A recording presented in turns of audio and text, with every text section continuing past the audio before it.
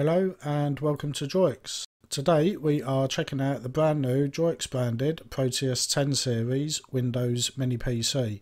We will be unboxing it and taking a look at the features of the device.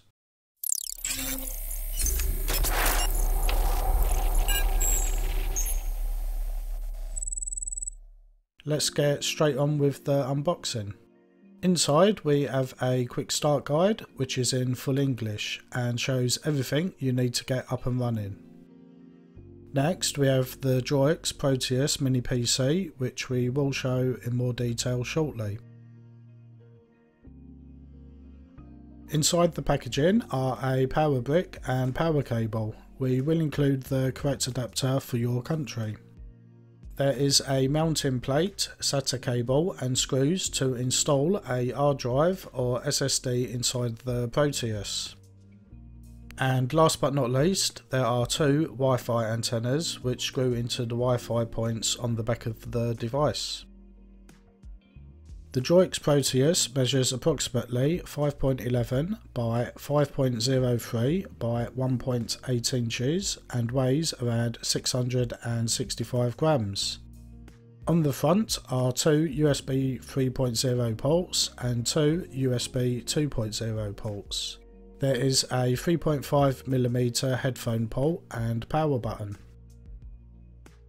On the back from left to right is the power connector. Beside that is the gigabit ethernet port. There are two additional USB 3.0 ports. There is a HDMI and display port which can be used together for dual monitor support.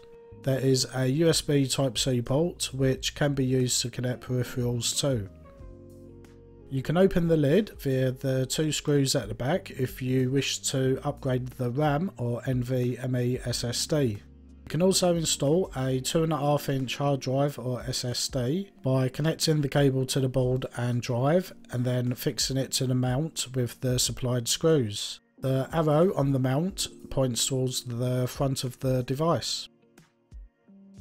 Let's take a brief look at the two Proteus 10 models technical specifications. The Proteus 10 features an Intel i5 10310U CPU running up to 4.4 GHz. The 10S features the more powerful Intel i7 10510U running up to 4.9 GHz.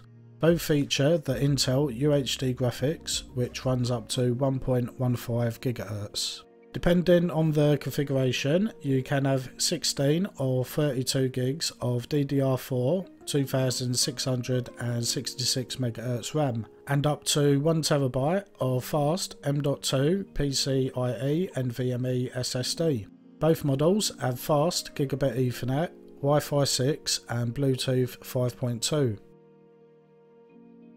The second part of our video review will cover the two models in more detail. We will perform some system and gaming benchmarks to test and compare the i5 and i7 processors performance. Don't forget to subscribe if you have not already, it really helps to grow the channel. Thanks for watching and we hope to see you in our next video.